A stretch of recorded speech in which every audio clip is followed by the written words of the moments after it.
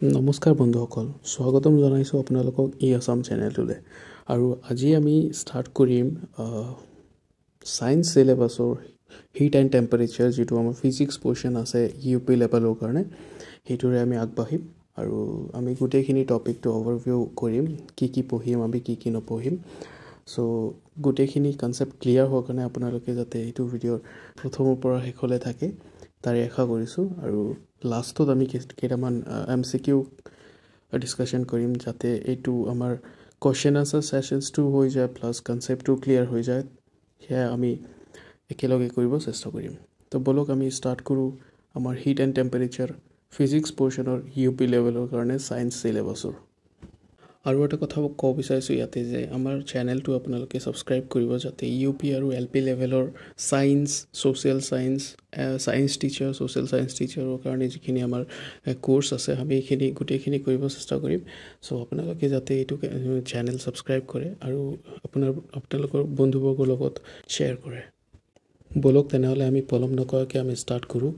Hit and temperature physics পৰ্শ্যনৰ science syllabus Assam TET U P লেভেলৰ কাৰণে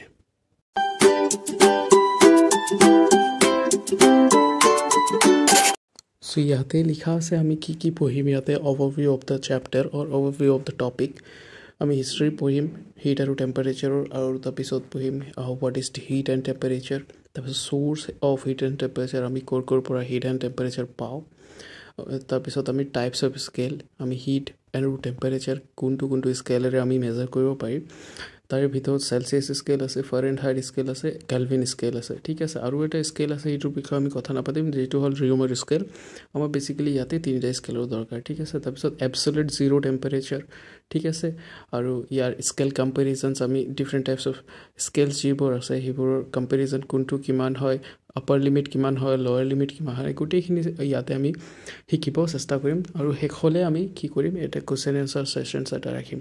ঠিক আছে? ন নম্বৰত আমি কি চাম type of transfer of heat আমি হিট কেনেকৈ ট্ৰান্সফাৰ কৰিব পাৰি এটা হ'ল কণ্ডাকশ্যন দুই নম্বৰ হ'ল কনভেকশ্যন থাৰ্ড নম্বৰ হ'ল ৰেডিয়েশ্যন তিনিটা প্ৰচেছ থাকে আমি হিট ট্ৰান্সফাৰ কৰিবলৈ।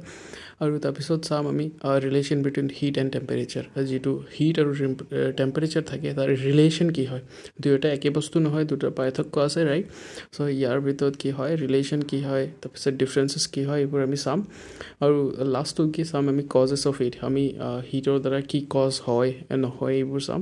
আৰু that will be our last topic আৰু এইখিনিৰ পিছত আমি এণ্ডত এটা কুৱেশ্যন এনচাৰ ছেশ্যন ৰাখিম আমি ফাৰ্ষ্টৰ পৰা কৈ আছোঁ। কিয়নো আমি যিখিনি পঢ়িম পঢ়াৰ পিছত আমি কুৱেশ্যন এনচাৰ্ছখিনি ছল্ভ কৰালি কৰিলে ডাউটখিনি পূৰাপূৰি ক্লিয়াৰ হৈ যাব। আই হোপ আপোনালোকে বুজি পাইছে এই কথাষাৰ। চ' হিষ্ট্ৰীত ক'ব গ'লে আমাৰ ফাৰ্ষ্ট টপিকত চাওঁ যে until the end of eighteen century scientist thought that the ultimate liquid call caloric ঠিক আছে কেলৰিক লিকুইড বুলি এটা আমি আখ্যা দিছিলোঁ যিটো আমি হিটক আমি পিয়ৰলি আমি ডিফাইন কৰিব পৰা নাই বা টেম্পাৰেচাৰ পিয়ৰলি আমি ডিফাইন কৰিব পৰা নাই আমি যিহেতু চাইণ্টিষ্টতে কি কৰিছিলে এইটো কনফাৰ্ম কৰিব পৰা নাই যে বস্তুটো কি হয় তাৰ আগত কি কৈছিলে যে এইটো এটা লিকুইড টাইপ হয় হিট এটা লিকুইড টাইপ হয় যাৰ ৱেইট নাই ঠিক আছে? আৰু যাৰ মাছ নাই ডেট মিনছ ঠিক আছে? চ' পিছত কি হৈছে আমাৰ Benjamin Thomson Rumford seventeen hundred fifty three to eighteen hundred and fourteen so' তেখেতে প্ৰুভ কৰিলে যে there is nothing reality like caloric fluid ঠিক আছে? যিটো আমি ফ্লুইড বুলি শুনিছিলোঁ আগত যে এনেকুৱা ৰিয়েলিটিত আমি একো প্ৰুফ পোৱা নাই যিটো কোনে প্ৰুভ কৰিছিলে?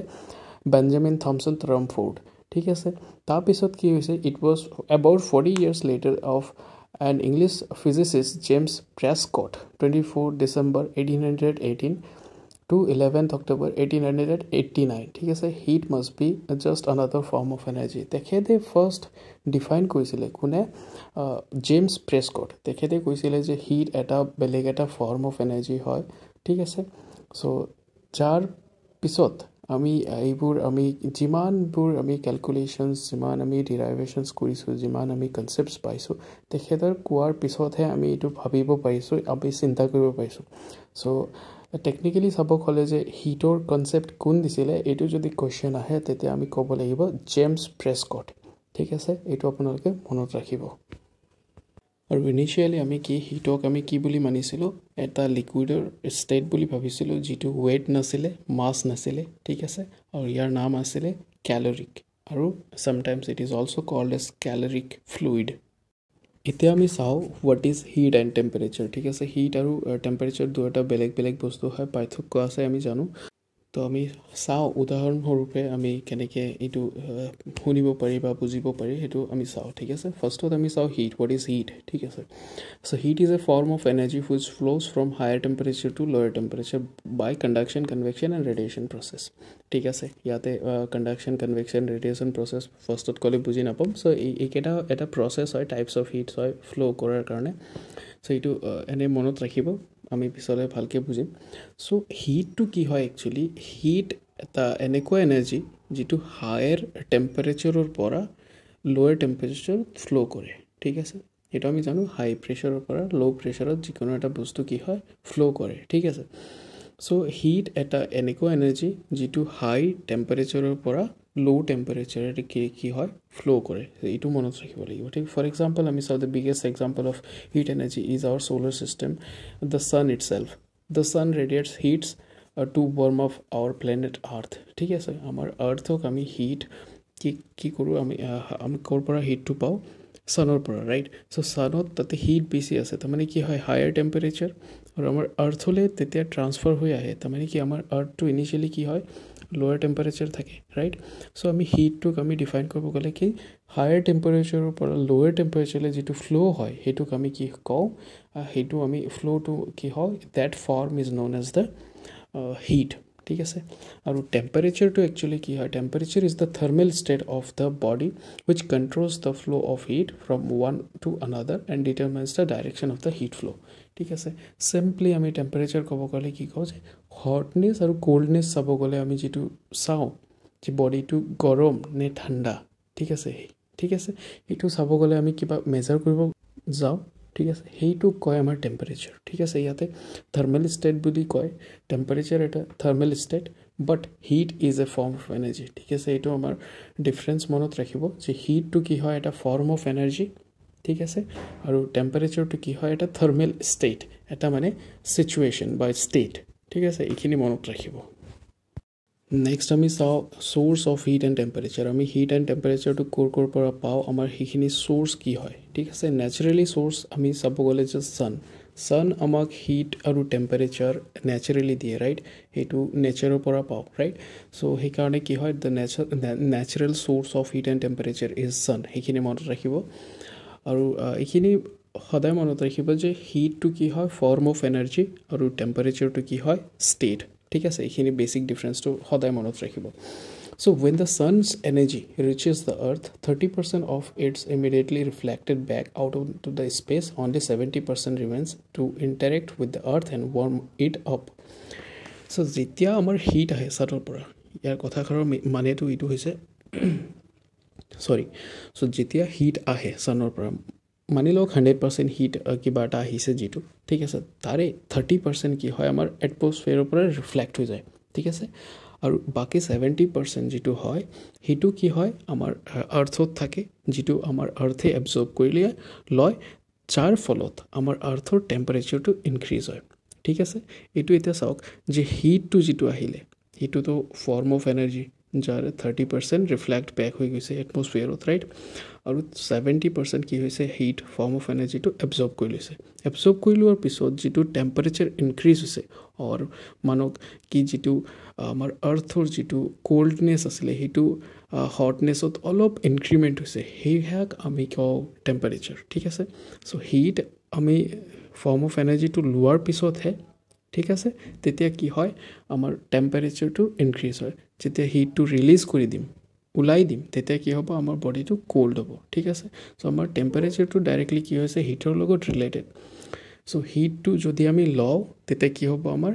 হিট যিটো বডি হ'ব সেইটো কি হ'ব? ৰাইজ হ'ব টেম্পাৰেচাৰটো ঠিক আছে? উষ্ণতাটো বাঢ়ি যাব। আৰু যদি আমি হিটটো আমাৰ বডিৰ পৰা ওলাই দিওঁ তেতিয়া কি হ'ব? আমাৰ ক'ল্ডনেছ বা আমাৰ শীতলতা এইটো কি হ'ব?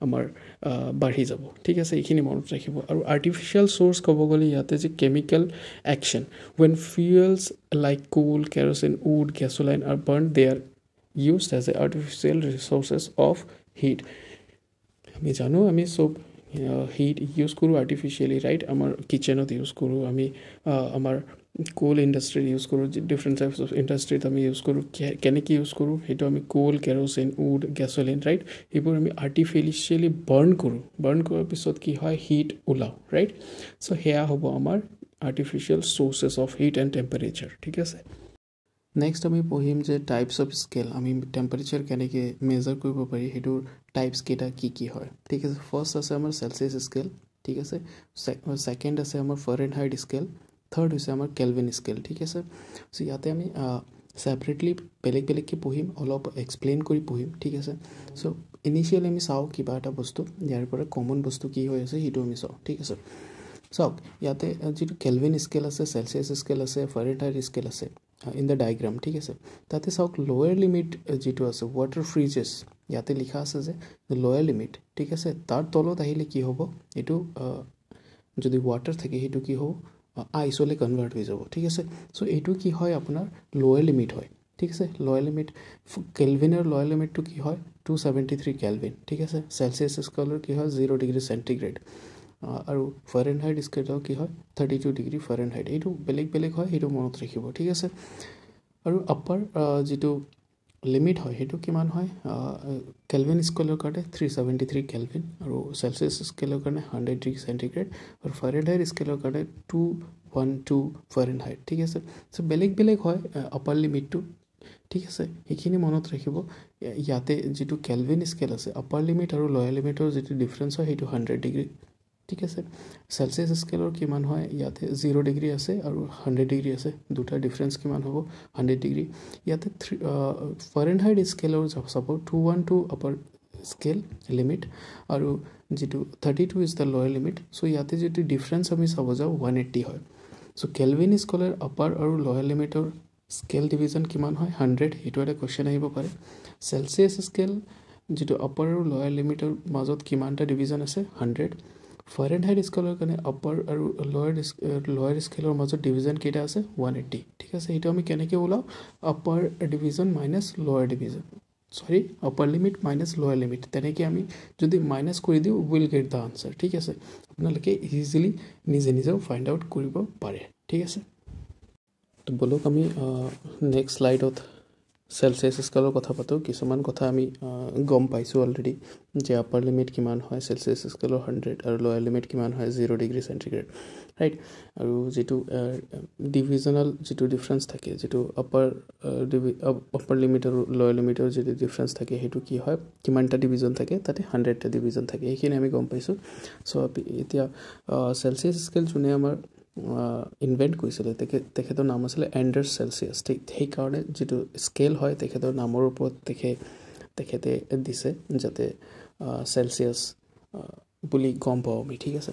চ' চেলচিয়াছ স্কেলটোৱে কি হয় আমি চেণ্ট্ৰিগ্ৰেড স্কেল বুলি আমি জানো ঠিক আছে? চেণ্টিগ্ৰেড আমি চেলচিয়াছ চেণ্টিগ্ৰেড আমি একেটা কথাই গম পাওঁ ঠিক আছে? This scale was devised in seventeen hundred and forty one by the Swedish astronomer Anders Celsius based on the properties of water ঠিক আছে ঠিক আছে চ' এইখিনি মনত ৰাখিব ইমান কথা আমাৰ ইয়াতে মন কৰিব লগা নাই আপাৰ লিমিট লয়াৰ লিমিট আৰু যিটো চেণ্টিগ্ৰেড চেলচিয়াছ এইখিনি কথা গম পালে হৈ গ'ল ঠিক আছে আৰু আমাৰ ৱাটাৰৰ যিটো মেল্টিং পইণ্ট হয় that is zero' degree centigrade আৰু বইলিং পইণ্ট অফ ৱাটাৰ আমাৰ হাণ্ড্ৰেড ডিগ্ৰী চেণ্টিগ্ৰেড সেইখিনি আমাৰ সেইখিনিতো আমি জানো সেইখিনি মনত ৰাখে থাকে ৰাইট আৰু আমাৰ যিটো কমন যিটো আমি থাৰ্মোমিটাৰ ইউজ কৰোঁ সেইটো আমাৰ চেলচিয়াছ স্কেলৰ ওপৰতে ডিজাইন কৰা থাকে। ঠিক আছে? So' this is the thing আমি চেলচিয়াছ স্কেলৰ অভাৰঅল যিটো প্ৰিভিউ হয় আমি গম পাই গৈছোঁ অলৰেডি ৰাইট নেক্সট আমি চাওঁ ফৰেন হাইট স্কেল ঠিক আছে? ফৰেন হাইট স্কেল তেখেতৰ নামৰ ওপৰতে দিছে so' Daniel Gabriel Fahrenheit was the first to invent the Fahrenheit scale ঠিক আছে? এইটো আমাৰ দ্বিতীয়টো স্কেল আছিলে টেম্পাৰেচাৰ মেজাৰ কৰা। আৰু ইয়াৰ লয়াৰ লিমিটটো কিমান আছিলে? থাৰ্টি টু আৰু আপাৰ লিমিটটো আছিলে two one two Fahrenheit আৰু ইয়াৰ ইউনিট কি হয়? ফৰেন হাইট আৰু যিটো ডিফাৰেঞ্চ হয় আপাৰ লিমিট আৰু লয়াৰ লিমিটৰ সেইটো হয় ওৱান এইট্টি চ' ইয়াতে ডিভিজন কেইটা থাকিব? আপাৰ লিমিট আৰু লয়াৰ লিমিটৰ মাজত সেইটো হ'ল ওৱান এইট্টি ঠিক আছে এইটো এটা কুৱেশ্যন আহিব পাৰে চ' ইয়াতে লিখা আছে the Fahrenheit Fahrenheit scale was devised by Daniel Gabriel Fahrenheit is urban physicist ঠিক আছে United States of America and England uses the Fahrenheit scale for weather observation and other purposes ঠিক আছে ইয়াতে ইউনাইটেড ষ্টেটছ আৰু ইংলেণ্ডে কি কৰে Fahrenheit scale কি ইউজ কৰে বা ব্যৱহাৰ কৰে কিহৰ কাৰণে ৱেডাৰ অবজাৰ্ভেশ্যন আৰু আদাৰ পাৰ্পচৰ কাৰণে নেক্সট আমি চাওঁ কেলভিন স্কেল কেলভিন স্কেলৰ বিষয়ে আমি গম পাইছোঁ। কেলভিনৰ যিটো লয়াৰ লিমিট হয় সেইটো হয় two seventy three degree Kelvin আৰু আপাৰ লিমিটটো কিমান হয় three seventy three degree Kelvin ঠিক আছে? আৰু যিটো ডিভিজনেল ডিফাৰেঞ্চ থাকে ইয়াতে যে আপাৰ লিমিট আৰু লয়াৰ লিমিটৰ মাজত কিমানটা ডিভিজন থাকে হাণ্ড্ৰেডটা ঠিক আছে? আমি কেনেকৈ ফাইন কৰিব পাৰি এইটো upper limit minus lower limit কৰিলে আমি পাই যাম ঠিক আছে? আৰু এইটো কেলভিনে লৰ্ড কেলভিনে ইনভেণ্ট কৰিছিলে সেইকাৰণে আমাৰ এইটো স্কেলৰ নাম কেলভিনৰ ওপৰতে দিয়া আছে কেলভিন স্কেল বুলি।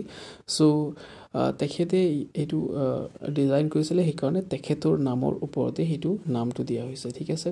চ' এপচুলেট টেম্পাৰেচাৰ এটা কুৱেশ্যন আহিব পাৰে যে এপচুলেট টেম্পাৰেচাৰ বা এপচুলেট যিটো মেজাৰমেণ্ট অফ টেম্পাৰেচাৰটো টেম্পাৰেচাৰ আমি কিহেৰে কৰোঁ সেইটো হ'ব আমাৰ কেলভিন সেইটো মনত ৰাখিব।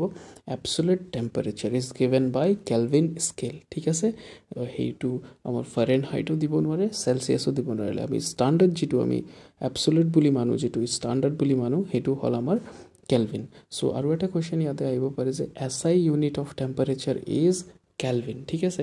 S I unit of temperature is Kelvin centigrade আৰু ফাৰেন হাইট নহয় ঠিক আছে? কেলভিন হ'ব এছ ইউনিট যিটো আমি ষ্টাণ্ডাৰ্ড ইউনিট বুলি কওঁ সেইটো আমি ৱৰ্ল্ড ৱাইড একচেপ্ট কৰোঁ সেইটো হ'ল আমাৰ কেলভিন এইটো টপিকটো ইম্পৰ্টেণ্ট হয় যিটো হ'ল absolute zero' and temperature scale comparison ঠিক আছে? ইয়াতে আমি যিটো এপচলেট জিৰ' টেম্পাৰেচাৰ বুলি মানো সেইটো কি হয় সেইটো আমি চাম ঠিক আছে? এপচলেট জিৰ' টেম্পাৰেচাৰ আমি অলপ আগতে ক'লোঁ যে absolute temperature is given by Kelvin scale হয় না? মই কৈছিলোঁ অলপ আগত ষ্টাণ্ডাৰ্ড ইউনিট বা S I unit of temperature আমি কি বুলি মানো?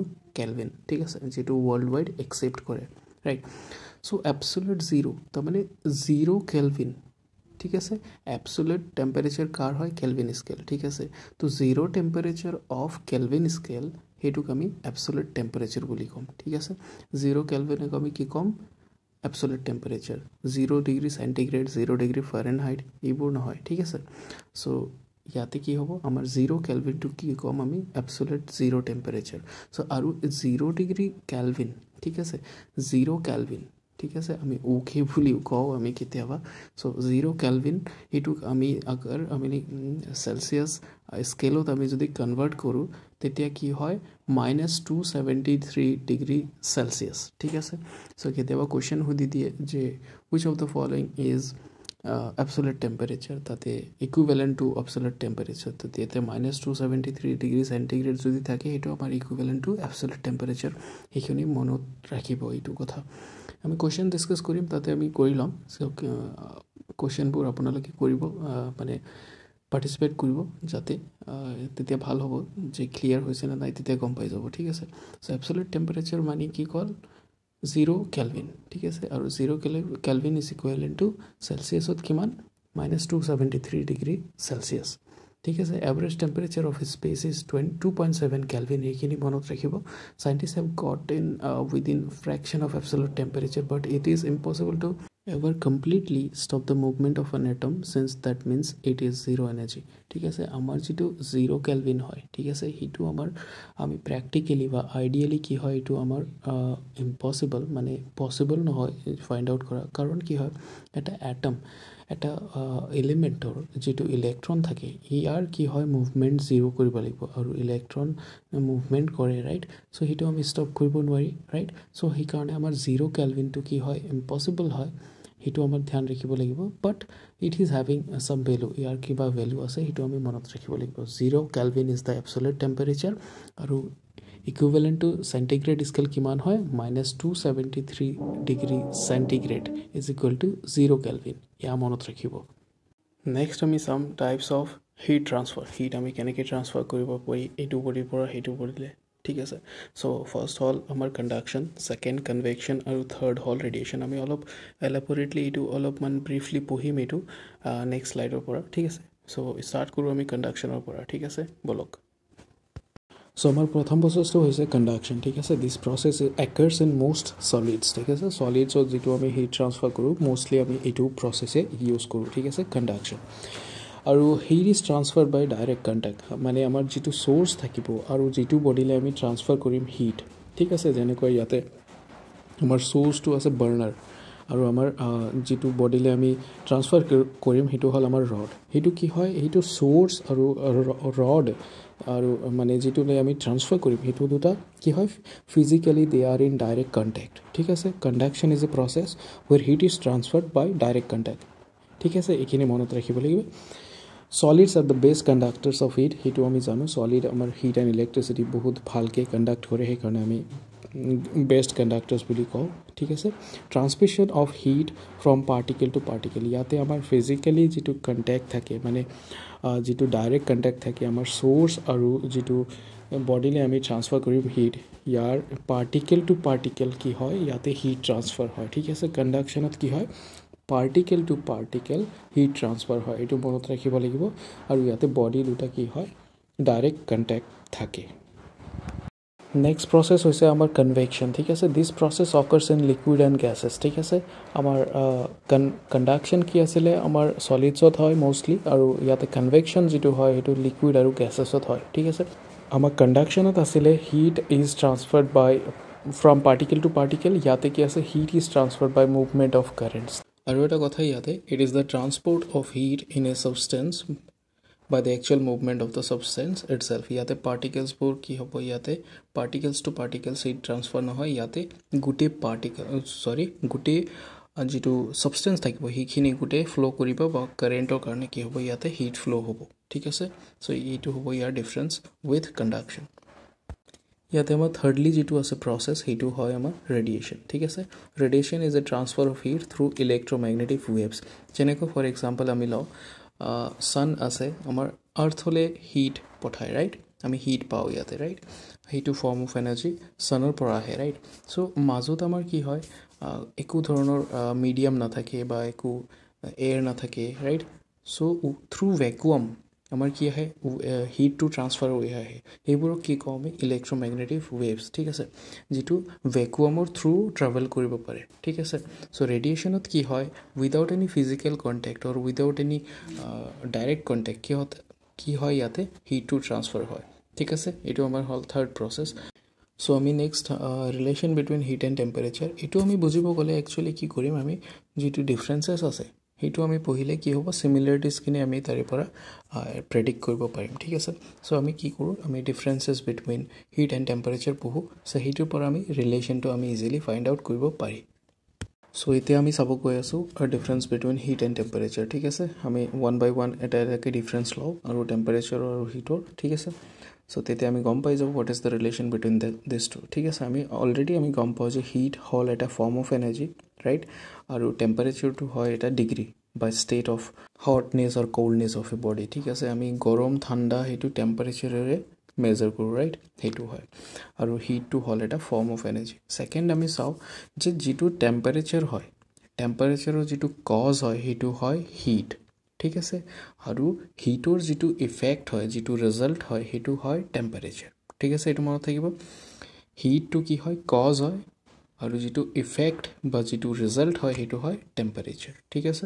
ধুনীয়াকৈ আমি ৰিলেশ্যনখিনি গম পাই আছোঁ? হয় থাৰ্ড পইণ্টত চাওঁ it does not determine the direction of the flow' of heat ঠিক আছে?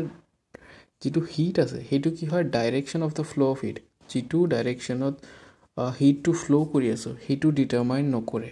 কিন্তু টেম্পাৰেচাৰে কি কৰে? সেইটো ডিটাৰমাইন কৰে ঠিক আছে? মানে কি হয়?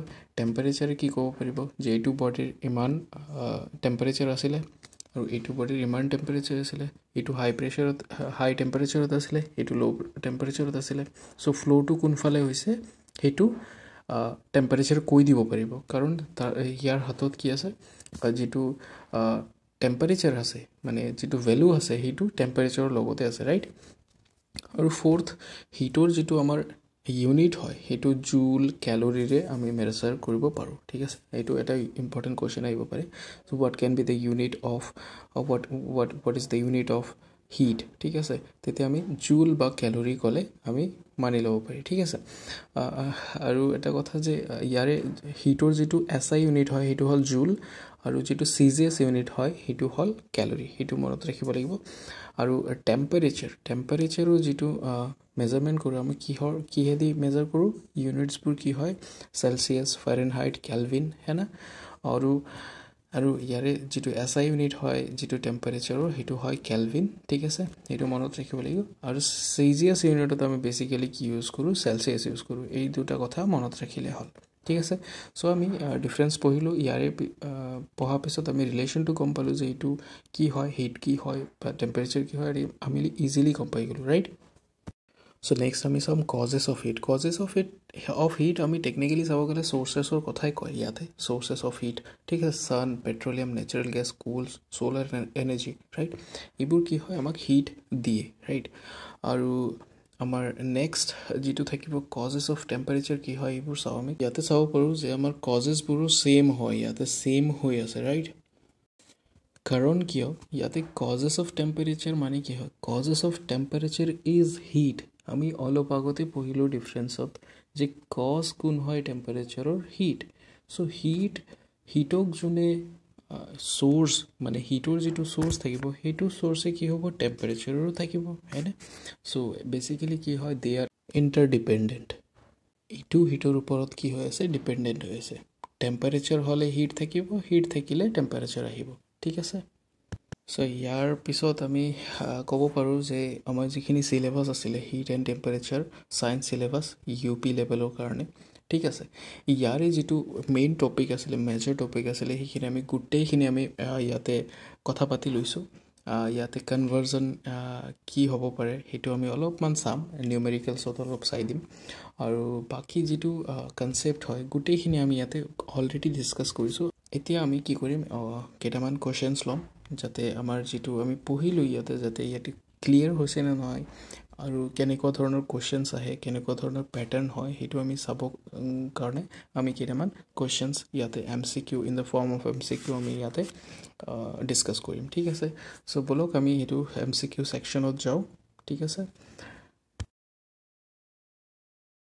চ' ফাৰ্ষ্ট কুৱেশ্যন আমি চাওঁ ইয়াতে কি দিয়া আছে? Which of the following is the fastest process of transfer of heat আমাৰ তিনিটা প্ৰচেছ আছিলে কণ্ডাকশ্যন কনভেকশ্যন আৰু ৰেডিয়েশ্যন ৰাইট চ' ইয়াৰে ভিতৰত আমাৰ ফাষ্টেষ্ট প্ৰচেছটো হৈ আছে ৰেডিয়েশ্যন কাৰণ কি হয় ৰেডিয়েশ্যনত কি হয় যেনেকুৱা আমি ক'লোঁ যে ছানৰ পৰা আমাৰ আৰ্থলৈ হিট ট্ৰান্সফাৰ হয় ৰাইট চ' ইয়াতে উইদাউট এনি মিডিয়াম ইয়াতে এয়াৰ বা যিকোনো ধৰণে মিডিয়াম যদি নাথাকেও তেতিয়া কি হয় ইয়াতে ট্ৰান্সফাৰ হয় কণ্ডাকশ্যন কনভেকশ্যন অলপ শ্ল' প্ৰচেছ হয় as compare to radiation so' ইয়াতে কাৰেক্ট আনচাৰটো আনচাৰটো হ'ব অপশ্যন চি ৰেডিয়েশ্যন ছেকেণ্ড কুৱেশ্যনটো হৈছে how will a metal container full of hot water in vacuum will lose its heat option A conduction option B convection option C radiation আৰু option D will stay hot forever ঠিক আছে ইয়াৰ ভিতৰত আমাৰ correct আনচাৰটো হ'ব আমাৰ বাই radiation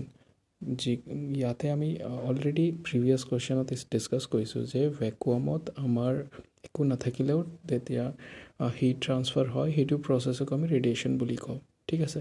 চ' যেতিয়া এতিয়া vacuum মানে no' air is there vacuum মানে কোনো যিকোনো কোনো কোনো তাতে এয়াৰ নাই একো নাই। ঠিক আছে? তো তাতে হিটবোৰ ট্ৰান্সফাৰ কেনেকৈ হ'ব? তাতে ৰেডিয়েশ্যন হ'ব। So' the correct answer will be C ইয়াতে এটা এক্সাম্পল আছে হাণ্ড্ৰেড ডিগ্ৰী চেণ্টিগ্ৰেড আমি ফৰেন হাইটত কনভাৰ্ট কৰিব লাগে। ঠিক আছে? ফৰ্মুলা আমাৰ হয় F equals to one point eight degree centigrade multiplied plus thirty two ঠিক আছে। এইটো আমাৰ ফৰ্মুলা হয় ইয়াৰ পৰা আমি এফ চি দুয়োটাকে আমি ওলাব পাৰি। চ' ইয়াতে আমি কি হয় চেণ্টিগ্ৰেডত দিয়া আছে ফাৰেন হাইটত ওলাব লাগে। চ' যিটো চিৰ জেগাত আমি হাণ্ড্ৰেড পুট কৰিম ঠিক আছে?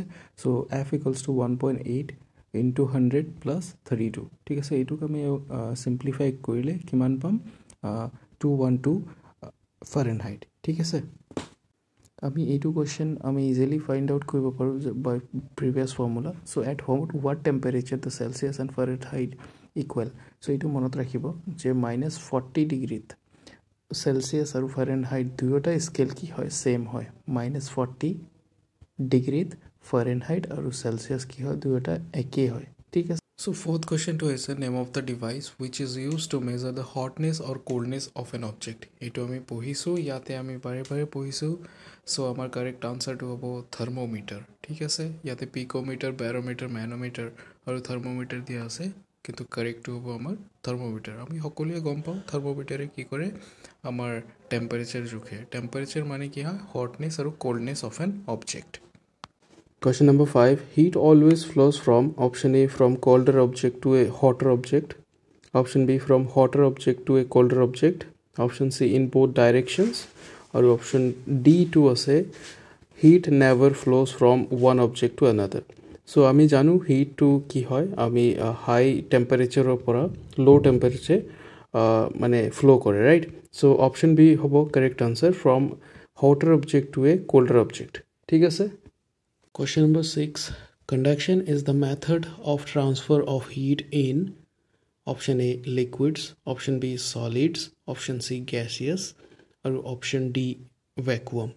So uh, conduction যেটো আমাৰ মেথড হয় সেইটো কি হয় আমাৰ চলিডত হিট ট্ৰান্সফাৰ কৰাৰ প্ৰচেছ হয় ৰাইট লিকুইড আৰু গেছত কি হয় কনভেনশ্যন আৰু ভেকুৱামত কি হয় সেইটো ৰেডিয়েশ্যন ৰাইট চ' আমাৰ কাৰেক্ট আনচাৰটো হ'ব ইয়াতে চলিডছ যিটো হ'ল আমাৰ option B question number seven the S I unit of temperature is option A Celsius option B Fahrenheit option C kelvin আৰু option D all of the above so' ইয়াতে correct আনচাৰটো আমি জানো চবেই আমি অলৰেডি পঢ়ি আহিছোঁ যে এপচলেট টেম্পাৰেচাৰ বা যিটো ষ্টাণ্ডাৰ্ড টেম্পাৰেচাৰ হয় তাক আমি কেলভিনেৰে মেজাৰ কৰোঁ বা আমি কেলভিনে গুৰুত্ব দিওঁ আমাৰ লাষ্ট কুৱেশ্যনটো হৈছে ইয়াৰে এইটো টপিকৰ heat and টেম্পাৰেচাৰৰ the S I unit of heat is option A calorie option B joule option C newton option D coulomb so' ইয়াতে কাৰেক্ট এনচাৰটো হ'ব আমাৰ জুল যিটো হয় এছ আই ইউনিট আৰু চি জে এছ ইউনিট ক'লে আমি ক'লোঁ হয় কেলৰি আৰু নিউটন যিটো হয় এইটো হয় ফ'ৰ্চৰ ইউনিট আৰু কুলম যিটো হয় সেইটো হ'ল চাৰ্জৰ ইউনিট চ' এইটো আমি মনত ৰাখিব লাগিব যে S I unit of heat is joule.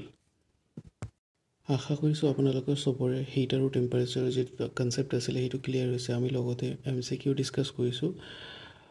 যাৰ ফলত আমি চাব পাৰিছোঁ যে আমাৰ কিমানখিনি ইয়াতে ডাউট আছে। ইয়াৰ ডাউট আমাৰ ক্লিয়াৰ হৈছে। আৰু কিবা যদি ডাউট থাকে আপোনালোকে কমেণ্ট ছেকশ্যনত নিশ্চয় জনাব। ধন্যবাদ।